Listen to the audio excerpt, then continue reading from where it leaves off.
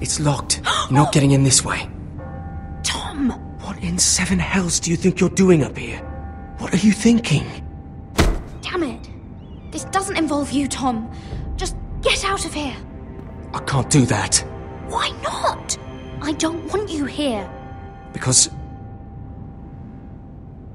Someone else does. I once told you.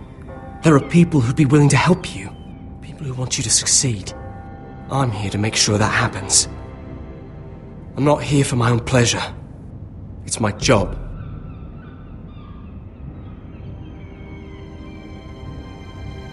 Mira, I would be here anyway, can't afford not to help you. So what do we do?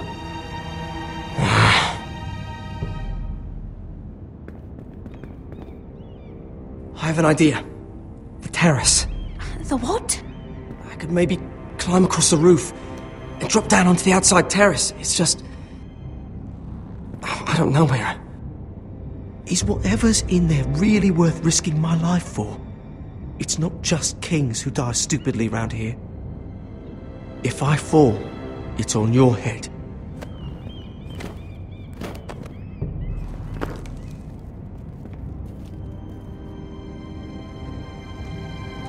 Just what do you think you're doing here? You shouldn't be anywhere near this place. Don't you know the imp has murdered the king?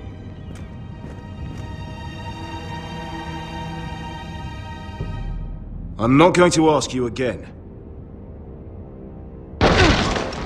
Damn. Oi! Whoever's in there, I command you to open this door at once, in the name of the king! You! Don't move. Tom! It's me! Hurry!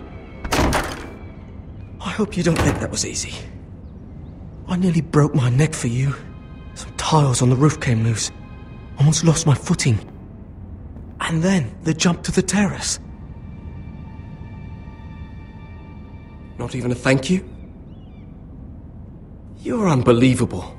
All I've done is risk my life to help you. And you tell me to get out of here the second you see me. You left me to drown when I pulled that guard off your back. You'd be dead without me. You're not worth it. No one is worth this much trouble. Find your own way out of your mess.